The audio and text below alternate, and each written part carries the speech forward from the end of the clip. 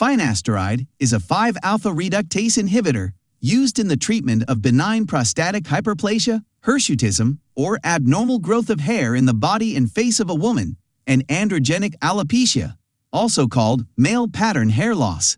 In this video, our main goal is to explore the adverse effects of finasteride.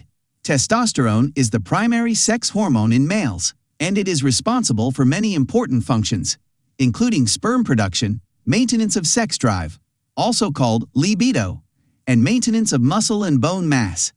Testosterone is converted into dihydrotestosterone, or DHT, by the enzyme 5-alpha reductase. DHT is the active form of testosterone, and it is associated with benign prostatic hyperplasia and androgenic hair loss in men. 5-alpha reductase enzyme exists in several forms. Finasteride inhibits both type 2 and type 3 5-alpha reductase, resulting in reduced conversion of testosterone into dihydrotestosterone, reducing the size of the prostate and hair loss, as well as hirsutism in women. Common adverse effects of finasteride include the following.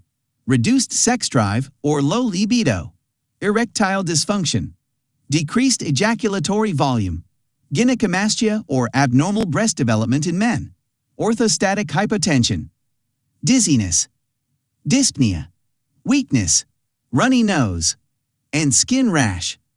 Finasteride is contraindicated in any person who has a hypersensitivity to it.